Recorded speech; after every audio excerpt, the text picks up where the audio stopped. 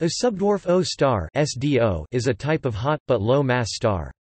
O-type subdwarfs are much dimmer than regular O-type main sequence stars, but with a brightness about 10 to 100 times that of the Sun, and have a mass approximately half that of the Sun.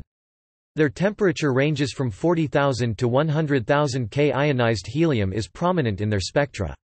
Gravity acceleration is expressed by log g between 4.0 and 6.5. Many SDO stars are moving at high velocity through the Milky Way and are found at high galactic latitudes. Structure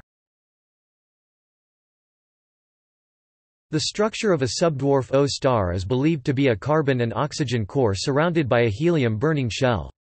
The spectrum shows that the content is from 50 to 100% helium. History In the early 1970s Greenstein and Sargent measured temperatures and gravity strengths and were able to plot their correct position on the Hertzsprung-Russell diagram. The Palomar Green Survey, Hamburg Surveys, Sloan Digital Sky Survey and Supernova Ia Progenitor Survey have documented many of these stars. Occurrence Subdwarf O stars are only a third as common as subdwarf B stars.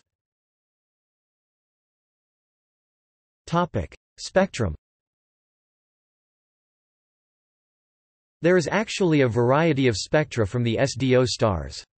They can be grouped into those with strong helium lines, termed He-SDO, and those with stronger hydrogen lines, H-strong SDO. The He-SDO are fairly rare. Usually nitrogen is enriched and carbon depleted. However there are variations with enhancement in concentration of even-numbered elements such as carbon, oxygen, neon, silicon, magnesium or iron. Examples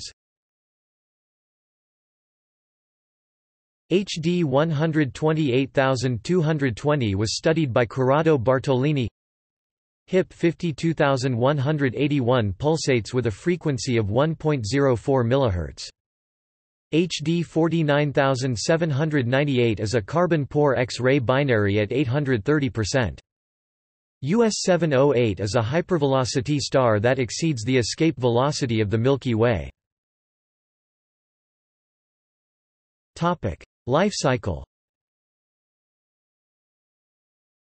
They can be plotted on the Hertzsprung-Russell diagram. They are from two stages in the stellar life cycle, post-asymptotic giant branch the luminous SDO, and post-extended horizontal branch compact SDO. The post-AGB stars are expected to be found in planetary nebulas, but only four of the SDO stars are known to be like this. The compact SDOs would be descendants of the B-type subdwarfs. However, statistics do not match SDB.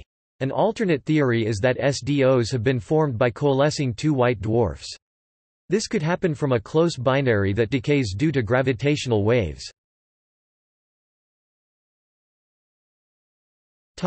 References